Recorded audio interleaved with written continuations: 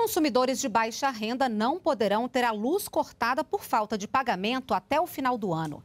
E as distribuidoras de energia vão receber um empréstimo facilitado dos bancos.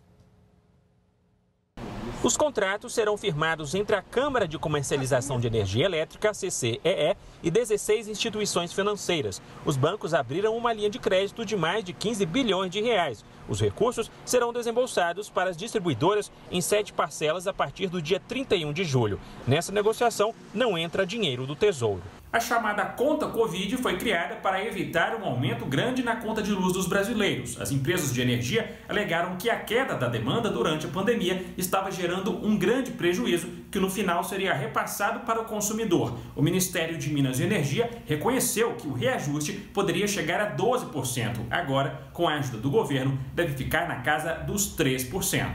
Aquilo que nós é, nos preocupamos desde o primeiro momento foi foi que o, o, o, o consumidor é, de energia, é, primeiro, tivesse a segurança energética é, de que não faltaria energia para ele. E segundo, que ele não fosse é, onerado nas suas tarifas é, por conta dessa crise sem, sem precedente. Tivemos uma preocupação muito grande com o consumidor de baixa renda.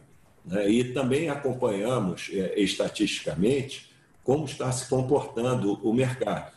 O governo também decidiu prorrogar até o fim do ano a proibição de corte de energia por falta de pagamento de consumidores de baixa renda.